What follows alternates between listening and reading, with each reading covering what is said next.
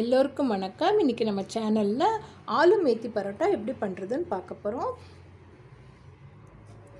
ரொம்ப நல்லாயிருக்கும் ஸ்டஃபிங் உள்ள. பாருங்கள் காட்டித்தரேன்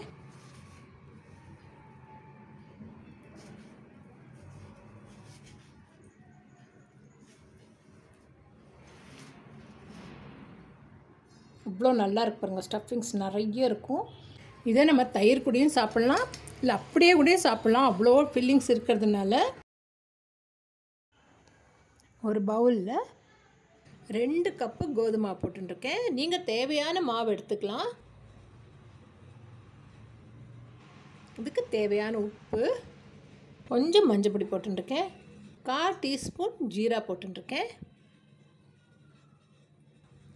ஒரு பிடி மெந்திய கீரை போட்டுருக்கேன் இது எல்லாத்தையும் நல்லா மிக்ஸ் பண்ணிக்கலாம். மெந்திக்கீரையை வேணும்னா கட் பண்ணியும் போட்டுக்கலாம். இப்போ கொஞ்சம் கொஞ்சமாக தண்ணி விட்டு பிசைஞ்சுக்கலாம்.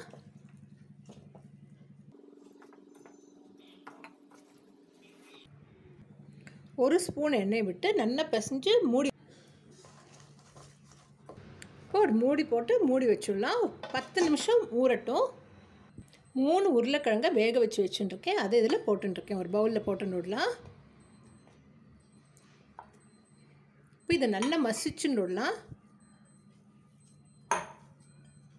இப்போ இதில் துருவிய இஞ்சி ஒரு பீஸு பச்சை மிளகாயை நறுக்கி போட்டுருக்கேன் நீங்கள் வேணால் சதைச்சும் போட்டுக்கலாம். ரெட் சில்லி பவுடர் ஒரு அரை டீஸ்பூன் போட்டுருக்கேன் காரத்துக்கு நீங்கள் ஏற்ற மாதிரி போட்டுக்கோங்க. ரெண்டு டேபிள் ஸ்பூன் கொத்தமல்லி. சின்ன வெங்காயத்தை கட் பண்ணி வச்சுருக்கேன் அதையும் இதில் போட்டுருக்கேன் இதுக்கு தேவையான உப்பு ஒரு ரெண்டு ஸ்பூன் பொடிச்ச அவல். நல்லா மெய்யாக பொடிச்சுக்கோங்க. அந்த அவலை போட்டுருக்கேன் நம்ம வெங்காயம் போட்டிருக்கிறதுனால சிலப்போ தண்ணி விட்டுடும். அதனால நம்ம அவல் போட்டுருக்கோம் எப்போவுமே சொல்லுவேன் உருளைக்கிழங்கு யூஸ் பண்ணுறோம்னா கொஞ்சம் ஓமம் போட்டுக்கணும்னு சொல்லிட்டு கொஞ்சம் ஓமத்தை நல்லா சதைச்சி போட்டுடலாம். அரை டீஸ்பூன் சாட் மசாலா போட்டுருக்கேன் ஒரு ஸ்பூன் எலுமிச்சப்பழம் ஜூஸ் விட்டுருக்கேன் சாட் மசாலா இல்லாட்டாலும் பரவாயில்ல நம்ம வந்து கரம் மசாலா போட்டுக்கலாம். சாட் மசாலாவுக்கு பதிலாக. இப்போ இது எல்லாத்தையும் நல்லா மிக்ஸ் பண்ணிடலாம். இப்போ நம்ம ஃபில்லிங் ரெடியாக இருக்குது நெக்ஸ்ட்டு பத்து நிமிஷத்துக்கு அப்புறமா மாவு பாருங்கள் நல்லா ஊறி இருக்குது இப்படி ஒரு வாட்டி பிசைஞ்சுன்னு விடலாம் கொஞ்சம் பெரிய சைஸாக மாவு எடுத்துக்கலாம். இந்த சைஸ் இருக்கட்டும் மாவு. கொஞ்சமாக மாவை டஸ்ட் பண்ணிக்கலாம். இப்போ சப்பாத்தி மாவை இப்படி வச்சுட்டு ரோல் பண்ணிக்கலாம்.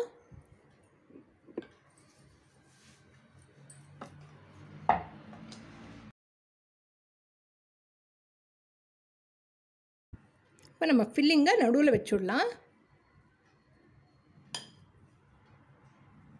கொஞ்சம் நிறைய வைங்க அப்போ தான் ரொம்ப நல்லாயிருக்கும் நிறைய வச்சோம்னா நல்லா இருக்கும் ரொம்பவே. இப்போ இதை ட்ரையாங்கிள் ஷேப்க்கு ஸ்ப்ரெட் பண்ணிக்கலாம்.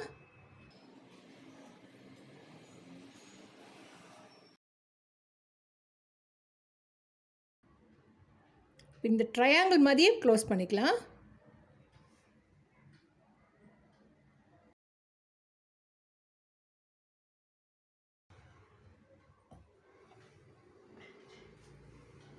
பாருங்கள் இப்படி.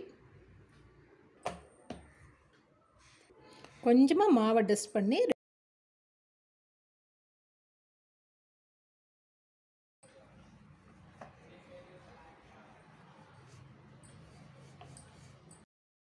கல் சூடாக இருக்குது இப்போ சப்பாத்தி போட்டுட்டு ரெண்டு பக்கமும் வேக வச்சு எடுத்துடலாம்.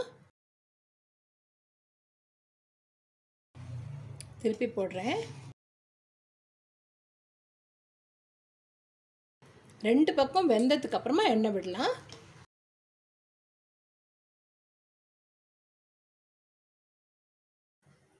எண்ணெய் விட்டு ரெண்டு பக்கம் வேக வச்சு எடுத்துடலாம்.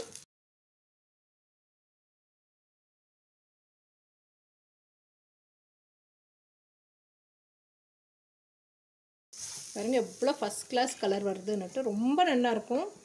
ரொம்ப டேஸ்டியாக இருக்கும். சப்பாத்தி பண்ணுறதுக்கு தெரியாதவா கூட இதை ஈஸியாக பண்ணிடலாம். பாருங்கள் நல்லா உப்பி வருது பார்த்தல நல்லா இருக்கும் ரொம்ப நல்லா இருக்கும். சாஃப்டாக இதெல்லாம் டேஸ்டியாக இருக்கும்.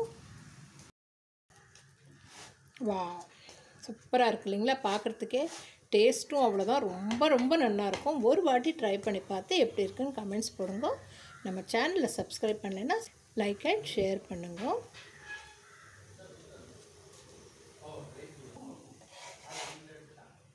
நம்ம ஆலு மேத்தி பரோட்டா ரெடி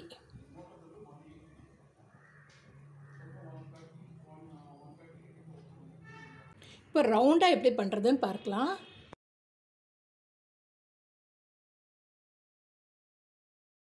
வீடியோவில் தெரியறதுங்களா? கொஞ்சம் மாவு நடுவில் கொஞ்சம் நிறைய இருக்குது பார்த்தீங்களா? இந்த மாதிரி மாவை ஸ்ப்ரெட் பண்ணிக்கணும். இப்போ நம்ம பண்ணியிருக்கிற மசாலாவை இதுக்கு உள்ள வச்சிடலாம்.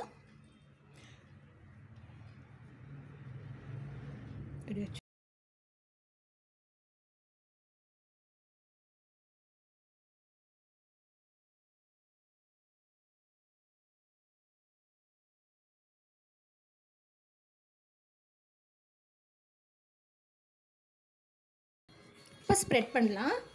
பாருங்கள் அமுக்கக்கூடாது. சும்மா லைட்டாக இப்படி ப்ரெஸ் பண்ணணும் அவ்வளோதான் பாருங்க.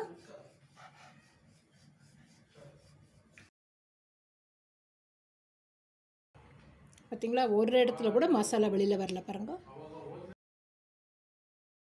கல் காஞ்சிருக்கு இப்போ போட்டுடலாம்.